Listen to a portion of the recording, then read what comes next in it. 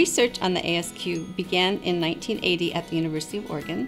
Diane Bricker began to uh, look at a parent completed tool that could screen for developmental and social emotional disorders. Um, in the next um, decades, research has continued to look at the accuracy of the ASQ, um, having simple questions that parents can answer, really empowering parents. And um, there's now research around the world um, Brazil, um, Chile, China, uh, Korea, looking at how these questionnaires work with different populations.